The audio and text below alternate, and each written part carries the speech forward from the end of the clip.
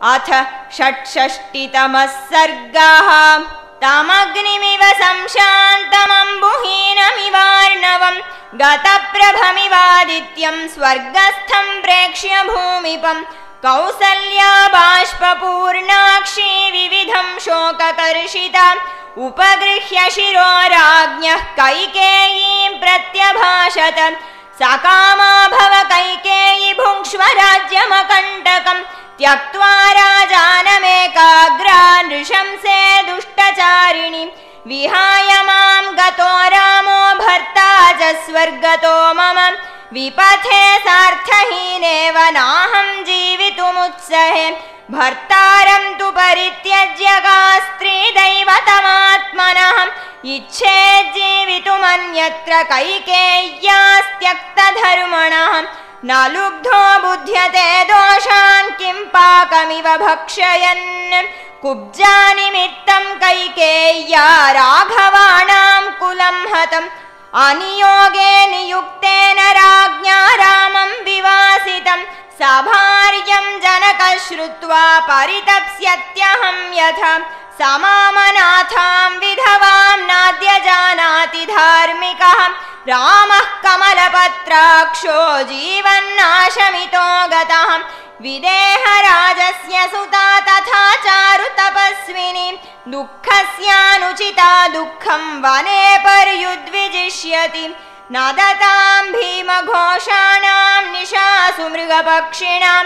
निशम्यमाना सन्त्रस्ता राघवं संश्रयिष्यति वृद्धश्चैवाल्पपुत्रश्च वैदेहीमनुचिन्तयन् सोऽपि शोकसमाविष्टो नूनं त्यक्ष्यति जीवितम्।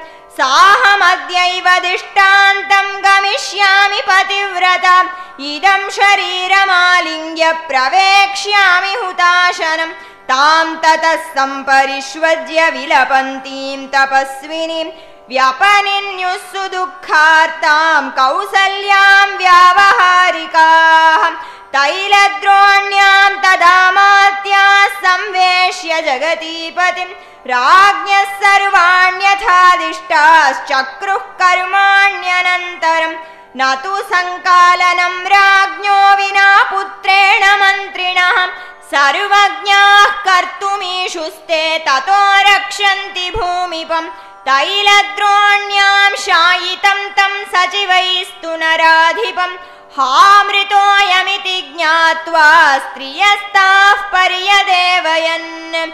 बाहूनुच्छ्रित्य कृपणानेत्रप्रस्रवणैर्मुखैः रुदत्य शोकसन्तप्ताः कृपणं पर्यदेवयन् हा महाराज रामेण सन्ततं प्रियवादिनां। विहीनाः सत्यसन्धेन किमर्थं विजहासिनः? कैकेय्या दुष्टभावाया राघवेण विवर्जिताः। कथं सपत्न्या वत्स्यामः समीपे विधवा वयं। स हि नाथः स चास्माकं तव च प्रभुरात्मवान्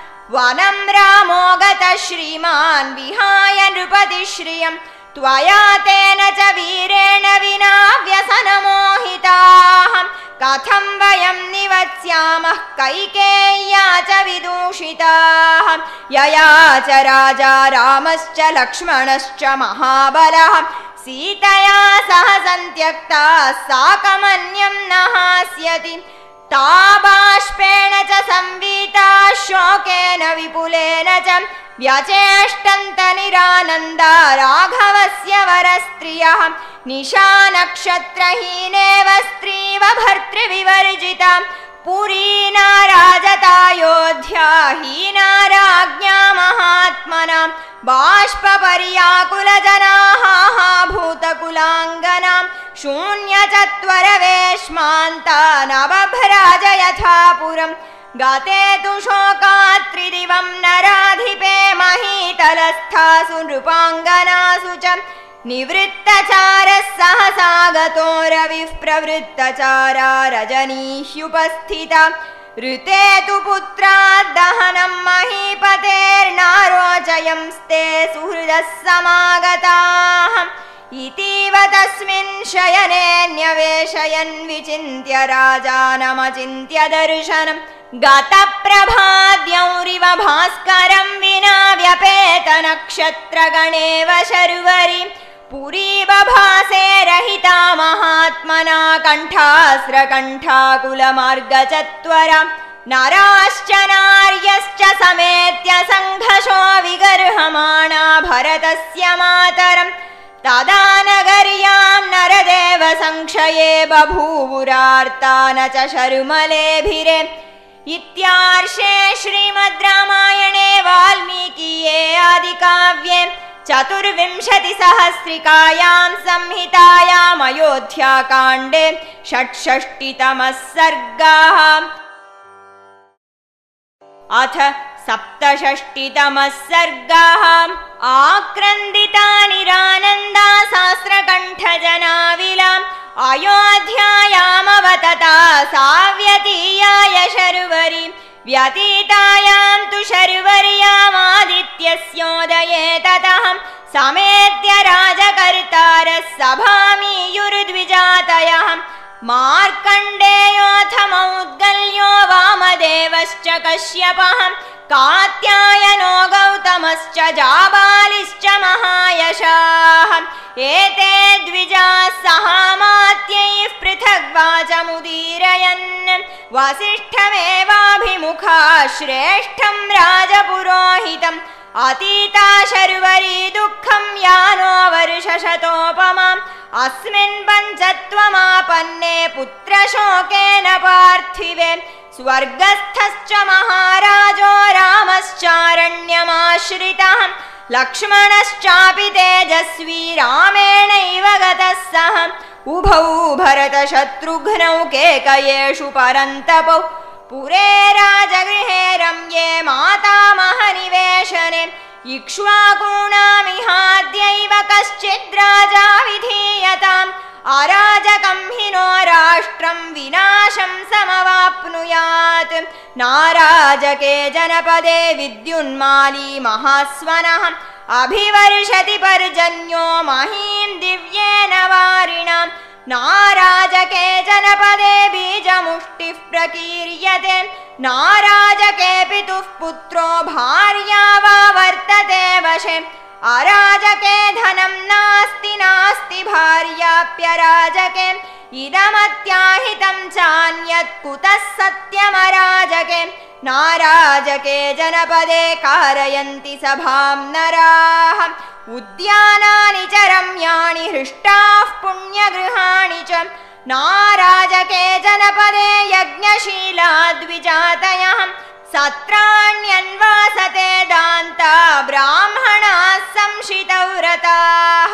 नाराजके जनपदे महायज्ञेषु यज्वनः ब्राह्मणा वसुसम्पूर्णा विसृजन्त्याप्तदक्षिणाः। नाराजके जनपदे प्रहृष्टनटनर्तकाः उत्सवाश्च समाजाश्च वर्धन्ते राष्ट्रवर्धनाः। नाराजके जनपदे सिद्धार्था व्यवहारिणः कथाभिरभिरज्यन्ते कथाशीलाः कथाप्रियैः नाराजके जनपदे तूद्यानानि समागताः सायाह्ने क्रीडितुं यान्ति कुमार्यो हेमभूषिताः। नाराजके जनपदे धनवन्तः सुरक्षिताः। शेरते विवृतद्वारा कृषिगोरक्षजीविनः। नाराजके जनपदे वाहनैः शीघ्रवाहिभिः नरानिर्यान्त्यरण्यानि नारीभिः सह कामिनः। नाराजके जनपदे बद्धघण्टाविषाणिनः।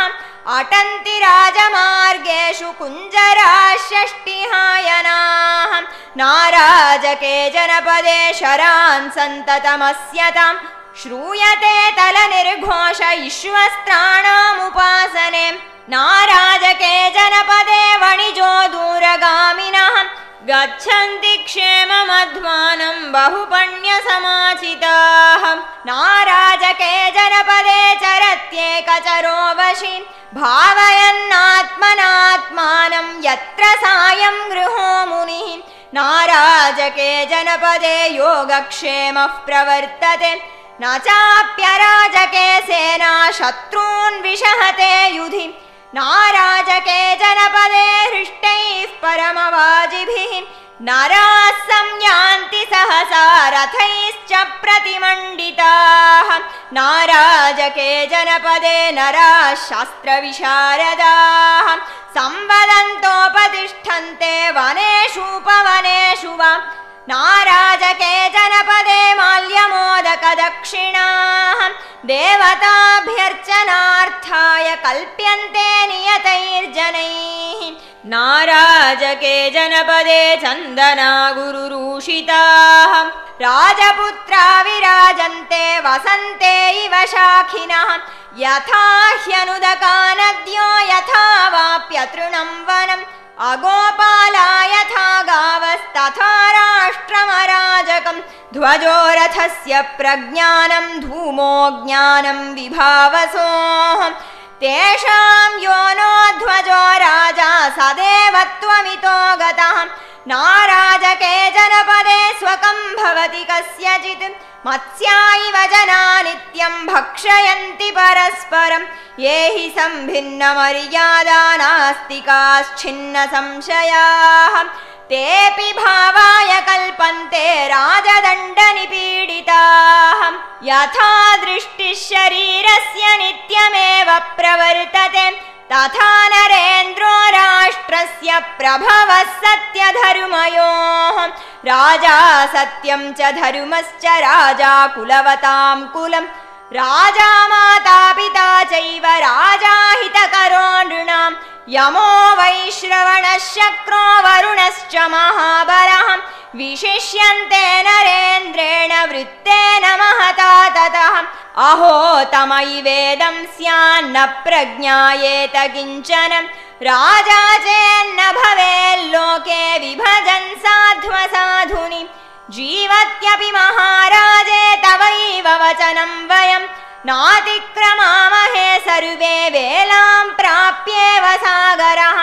स नः समीक्ष्य द्विजवर्यवृत्तं नृपं विना राष्ट्रमरण्यभूतम् कुमारमिक्ष्वाकुसुतं तथान्यं त्वमेव राजानमिहाभिषेचय इत्यार्षे श्रीमद् रामायणे वाल्मीकीये आदिकाव्ये चतुर्विंशतिसहस्रिकायां संहितायामयोध्याकाण्डे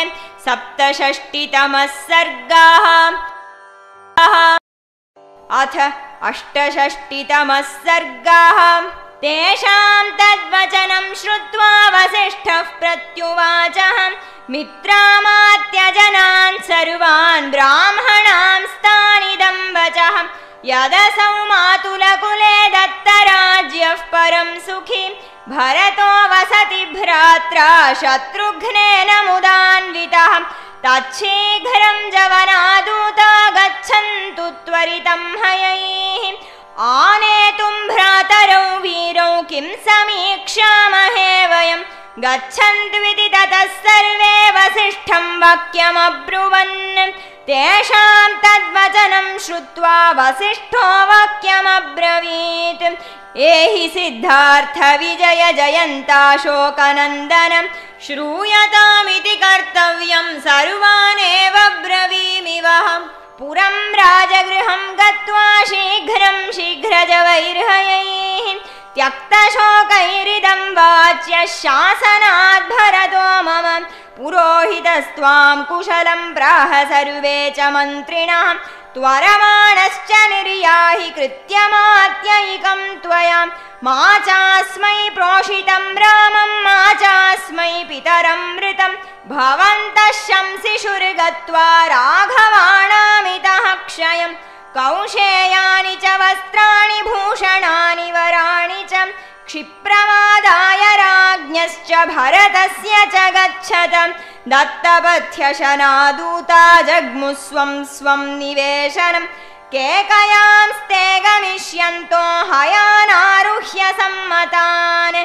ततः प्रास्थानिकं कृत्वा कार्यशेषमनन्तरं वसिष्ठेनाभ्यनुज्ञाता दूताः सन्त्वरितं ययुः न्यन्तेनापरतालस्य प्रलम्बस्योत्तरं प्रति निषेवमाणास्ते जग्मुर्नदीं मध्ये न मालिनीं ते हास्तिनपुरे गङ्गां तीत्वा प्रत्यङ्मुखाययुः पाञ्चालदेशमासाद्य मध्येन कुरुजाङ्गरं सरांसि च सुफुल्लानि नदीश्च विमलोदकाः निरीक्षमाणा जग्मुस्ते दूताः कार्यवशाद्रुतम्।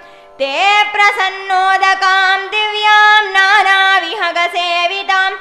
उपाति जग्मुर्वेगेन शरदण्डां जलाकुलां निकूलवृक्षमासाद्य दिव्यं सत्योपयाचनम्। अभिगम्याभिवाद्यं तं कुलिङ्गां प्राविशन् पुरीम् अभिकालं ततः प्राप्य तेजोऽभिभवनाच्युताः।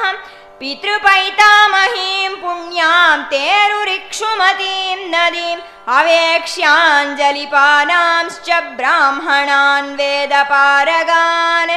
ययुर्मध्येन बाह्लिकान् सुदामानं च पर्वतं विष्णोः पदं प्रेक्ष्यमाणा विपाशां चापि शाल्मलीम् नदीर्वापि तटाकानि पल्वलानि सरांसि च पश्यन्तो विविधांश्चापि सिंहान् व्याघ्रान् मृगान् द्विपान्। ययुः पथाति महता शासनं भर्तुरीप्सवः। ते श्रान्तवाहनादूता विकृष्टेन सतापथ गिरिव्रजं पुरवरं शीघ्रमासे दुरञ्जसा भर्तुः प्रियार्थं कुलरक्षणार्थं भर्तुश्च वंशस्य परिग्रहार्थम् अहेडमानास्त्वरया स्म दूता रात्र्यां तु ते तत्पुरमेव याताः इत्यार्षे श्रीमद् रामायणे वाल्मीकीये आदिकाव्ये चतुर्विंशतिसहस्रिकायां संहितायाम् अयोध्याकाण्डे अष्टषष्टितमः सर्गाः। अथ एकोनसप्ततितमः सर्गः। यामेव रात्रिं ते दूताः प्रविशन्ति स्म तां पुरीं भरतेनापि तां रात्रिं स्वप्नो दृष्टोऽयमप्रियः व्युष्टामेव तु तां रात्रिं दृष्ट्वा तं स्वप्नमप्रियम् पुत्रो राजाधिराजस्य सुभृशं पर्यतप्यत तप्यमानं तमाज्ञाय वयस्याः प्रियवादिनः। आयासं विनयिष्यन्तः सभायां चक्रिरे कथाः वादयन्ति तदा शान्तिं लासयन्त्यपि चापरे नाटकान्यपरे स्माहुर्हास्यानि विविधानि च। सतैर्महात्मा भरतः सखिभिः प्रियवादिभिः। गोष्ठी हास्यानि कुर्वद्भिर्न प्राहृष्यत राघवः। तमब्रवीत् प्रियसखो भरतं सखिभिर्वृतं सुहृद्भिः पर्युपासीनः किं सखेनानुमोदसे? एवं ब्रुवाणं सुहृदं भरतः प्रत्युवाचः शृणु त्वं यन्निमित्तं मे दैन्यमेतदुपागतं स्वप्ने पितरमद्राक्षं मलिनं पतन्तमद्रिशिखरात् कलुषे गोमये ह्रदे प्लवमानश्च मे दृष्टः स तस्मिन् गोमये ह्रदे पिबन्नञ्जलिना तैलं हसन्निव मुहुर्मुहुः। ततस्तिलोदनं भुक्त्वा पुनः पुनरधः शिराः तैलेनाभ्यक्त सर्वाङ्गस्तैलमेवान्वगाहतम् स्वप्नेऽपि सागरं शुष्कं चन्द्रं च पतितं भुवि। उपरुद्धां च जगतीं तमसेव समावृताम्। औपवाह्यस्य नागस्य विषाणं शकलीकृतम् सहसा चापि संशान्ता ज्वलिता जातवेदसः अवदीर्णां च पृथिवीं शुष्कांश्च विविधान् द्रुमान् अहं पश्यामि विध्वस्तान् सधूमांश्चैव पर्वतान्। पीठे कार्ष्णायसे चैवं निषण्णं कृष्णवाससम् प्रहरन्ति स्म राजानं प्रमदाः कृष्णपिङ्गलाः। त्वरमाणश्च धर्मात्मा रक्तमाल्यानुलेपनः। रथेन खरयुक्तेन प्रयातो दक्षिणामुखः प्रहसन्तीव राजानं प्रमदा रक्तवासिनीं प्रकर्षन्ती मया दृष्टा राक्षसी विकृताननाम् एवमेतन्मया दृष्टमिमां रात्रिं भयावहाम्। अहं रामोऽथवा राजा लक्ष्मणो वा मरिष्यति। नरो यानेन यस्वप्ने खरयुक्तेन यातिः अचिरात् तस्य धूमाग्रं चितायां सम्प्रदृश्यते। एतन्निमित्तं दीनोऽहं नवजः प्रतिपूजये। शुष्यतीव च मे कण्ठो न स्वस्थमिव मे मनः। न पश्यामि भयस्थानं भयं जैवोपधारये भ्रष्टश्च स्वरयोगो मे छाया चापगता मम जुगुप्सु इव चात्मानं न च पश्यामि कारणम्। इमां च दुःस्वप्नगतिं निशम्य हि त्वनेकरूपामवितर्कितां पुरां भयं महत्तु हृदयान्नयाति मे विचिन्त्य राजानमचिन्त्य दर्शनम् इत्यार्षे श्रीमद् रामायणे वाल्मीकीये आदिकाव्ये चतुर्विंशतिसहस्रिकायां संहितायामयोध्याकाण्डे एकोनसप्ततितमः सर्गः। अथ सप्ततितमः सर्गः भरते ब्रुवति स्वप्नं दूतास्ते क्लान्तवाहनाः। प्रविश्यासह्य परिखं रम्यं राजगृहं पुरम् समागम्य च राज्ञाते राजपुत्रेण चर्चिताः। राज्ञः पादौ गृहीत्वा च तमूचुर्भरतं वचः। पुरोहितस्त्वां कुशलं प्राह सर्वे च मन्त्रिणः त्वरमाणश्च निर्याहि कृत्यमात्यैकं त्वया इमानि च महार्हाणि वस्त्राण्याभरणानि च प्रतिगृह्य विशालाक्षमातुलस्य च दापयम्। अत्र विंशतिकोट्यस्तु नृपतेर्मातुलस्य ते। दशकोट्यस्तु सम्पूर्णास्तथैव च नृपात्मजम् प्रतिगृह्य तु तत्सर्वं स्वनुरक्तस्तु हृज्जने। दूतानुवाच भरतः कामैः सम्प्रति पूज्यतान् कच्चित् सकुशली राजा पिता दशरथो मम। कच्चिदारोग्यता रामे लक्ष्मणे च महात्मनि। आर्या च धर्मनिरता धर्मज्ञा धर्मवादिनी अरोगा चापि कौसल्या माता रामस्य धीमतः। कच्चित् सुमित्रा धर्मज्ञा जननी लक्ष्मणस्य यां। शत्रुघ्नस्य च वीरस्य अरोगा चापि मध्यमाम्। आत्मकामा सदा चण्डी क्रोधना प्राज्ञमानिनी। अरोगा चापि मे माता कैकेयी किमुवाचहम् एवमुक्तास्तु ते दूता भरतेन महात्मनाम् ऊचुः सम्प्रश्रितं वाक्यमिदं तं भरतं तदा। कुशलास्तेन रव्याघ्र येषां कुशलमिच्छसि। श्रीश्च त्वां वृणुते पद्मायुज्यतां चापि ते रथः।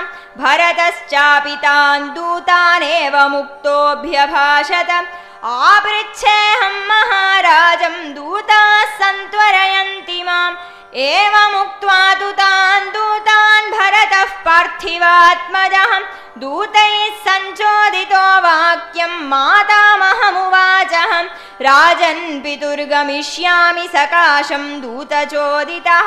पुनरप्यहमेष्यामि यदा मे त्वं स्मरिष्यसि भरतेनैव मुक्तस्तु नृपो मातामहस्तदा। तमुवाच शुभं वाक्यं शिरस्याघ्राय राघवम् गच्छतानुजाने त्वां कैकेयी सुप्रजास्त्वया। मातरं कुशलं ब्रूयाः पितरं च परन्तप पुरोहितं च कुशलं ये चान्ये द्विजसत्तमाः। तौ च तातमहेश्वासौ भ्रातरौ रामलक्ष्मणौ। तस्मै हस्त्युत्तमांश्चित्रान् कम्बलानजिनानि च। सत्कृत्य केकयो राजा भरताय ददौ धनम्। अन्तःपुरेति संवृद्धान् व्याघ्रवीर्यबलोपमान्। दंष्ट्रायुक्तान् महाकायान् शुनश्चोपायनं ददौ। रुक्मनिष्कसहस्रे द्वे षोडशाश्वशतानि च। सत्कृत्य केकयी पुत्रं केकयो धनमादिशत् तदा मात्यानभिप्रेतान् विश्वास्यांश्च गुणान्वितान्।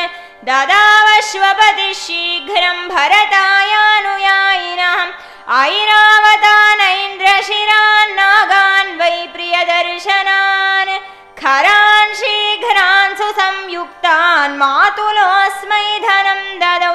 स दत्तं केकयेन्द्रेण धनं तन्नाभ्यनन्दत। भरतः केकयी पुत्रो गमनत्वरया तदा। बभूव ह्यस्य हृदये चिन्ता सुमहती तदा। त्वरया स्वप्नस्यापि च दर्शनात्। सस्ववेश्माभ्यतिक्रम्य नरनागाश्वसङ्कुलम् प्रपेदे सुमहच्छ्रीमान् राजमार्गमनुत्तमम्। ततो पश्यदन्तः पुरमनुत्तमम्। ततस्तद्भरत श्रीमानाविवेशानिवारितः। समातामहमापृच्छ्य मातुलं च युधाजितम् रथमारुह्य भरतः शत्रुघ्नसहितो ययौ रथान् मण्डलचक्रांश्च योजयित्वा परश्यतम् उष्ट्रगोश्वखरैर्भृत्या भरतं यान्तमन्वयुः। बालेन गुप्तो भरतो महात्मा सहार्यकस्यात्मसमैरमात्यैः। आदाय शत्रुघ्नमपेत शत्रुर्गृहाद्ययौ सिद्ध इवेन्द्रलोकात्। इत्यार्षे श्रीमद् रामायणे वाल्मीकीये आदिकाव्ये चतुर्विंशतिसहस्रिकायां संहितायामयोध्याकाण्डे सप्ततितमः सर्गाः